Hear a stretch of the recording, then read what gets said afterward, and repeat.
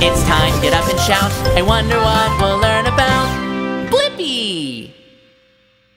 Activate Blippi Station. It's time get up and shout. I wonder what we'll learn about Blippi. Whoa! Whoa! Whoa, Tabs! That bouncy castle is out of this world! Hmm, I wonder, what would it be like to bounce on the moon?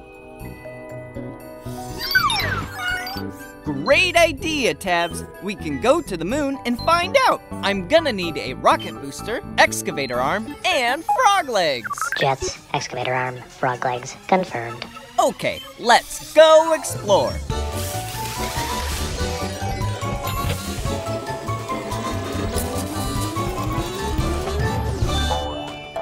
The Blippi Mobile is ready to blast off for adventure. And there's the moon! yeah!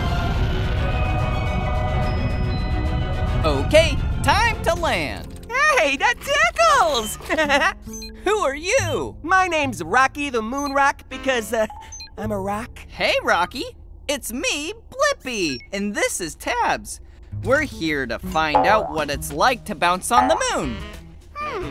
I never tried it myself, being a rock, but let me see if I can uh, just uh, get up. All right, then let's bounce.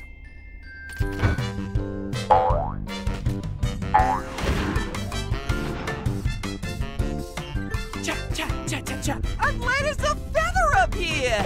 I never knew I could have been having so much fun.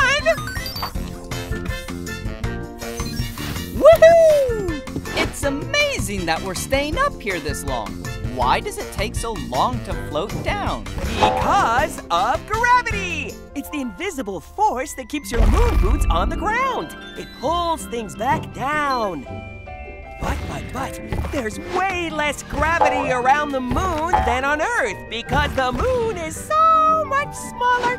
That's why we float for so long. I have the answer to my question. What would it be like to bounce on the moon?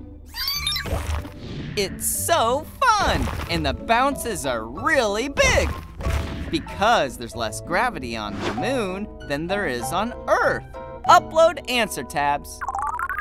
We feel like we're floating, but gravity is slowly pulling us back down. Cha, cha, cha, cha, cha, cha, cha, cha.